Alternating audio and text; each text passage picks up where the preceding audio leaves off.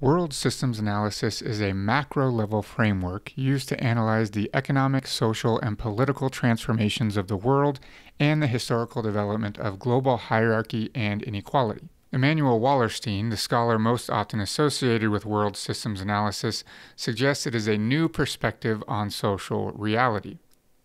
Rather than focusing solely on the exploitative relationships between specific states and how some rely on others, as dependency theory does, nor emphasizing a limited idea of how countries progress in a linear fashion from quote unquote underdeveloped to developed, or worse, uncivilized to civilized, as modernization theory does, World systems analysis emphasizes the relationships between states through their production processes and the flow of products across the globe. The focus is on the world economy, a global system which is not unified by single political or cultural beliefs, but the division of labor which is constituted within it. The main thesis of world systems analysis is that capitalism is not defined by the buying and selling of goods on the market, nor by the existence of wage labor. The argument suggests that both of those things have existed for thousands of years. Rather, capitalism is when the global system gives priority to the endless accumulation of capital. Wallerstein suggests the modern world system is a capitalist world economy, which came into being in the 16th century, and we can't properly analyze it by focusing on individual nation states, or politics, or economics, or culture, but we have to consider the global capitalistic system in its totality and how it has come into existence and changed over time. World systems analysis classifies countries as core, periphery, or semi periphery, depending on the products and production processes within each and its relationships with other nations and their products. It really emphasizes the core periphery relationship. Wallerstein says core periphery is a relational concept. What we mean by core periphery is the degree of profitability of the production processes.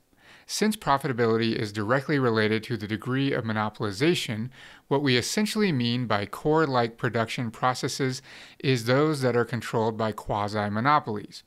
Peripheral processes are then those that truly are competitive. When exchange occurs, competitive products are in a weak position and quasi monopolized products are in a strong position. As a result, there is a constant flow of surplus value from the producers of peripheral products to the producers of core like products. This has been called unequal exchange. The key element distinguishing core like from peripheral processes is the degree to which they are monopolized and therefore profitable. So, the key in determining whether a nation and its products are core or peripheral is how much the nation maintains a monopoly on the production of those products. The monopolized products and their production processes are more highly profitable. As far as semi peripheral nations, Wallerstein says some states have a near mix of core like and peripheral products.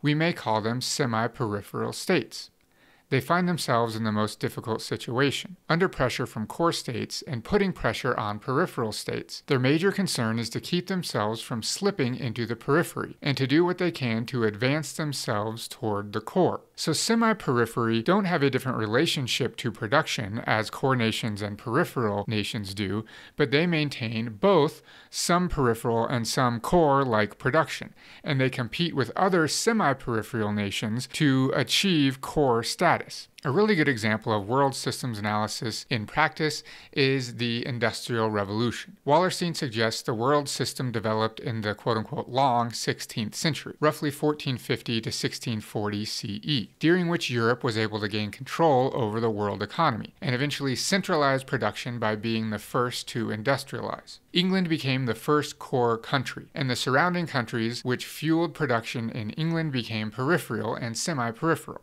As just one example, think of how the Italian peninsula was the center of trade prior to the Industrial Revolution. But was relatively quickly relegated to semi peripheral status, both supplying the core nations and importing from peripheral ones, and fighting to gain status as a core nation. As another more modern example of world systems analysis in practice, consider the mass outsourcing of certain functions from the core nations in the second half of the 20th century. As certain things such as assembly line production and customer service roles became more difficult to monopolize and thus became less profitable, core nations sent these jobs to other nations, which were then elevated to peripheral or semi peripheral status. China is a great example. It was undergoing rapid industrialization after World War II and was perfectly happy to begin the mass production which was previously done by the core nations themselves.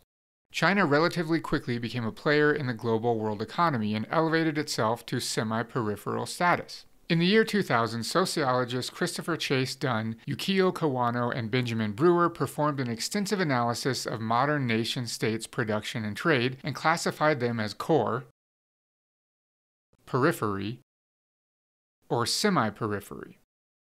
Looking at the map, it's easy to apply world systems analysis and think about how the core nations are able to monopolize the most profitable products, information, and services. For example, technology, data, and finance.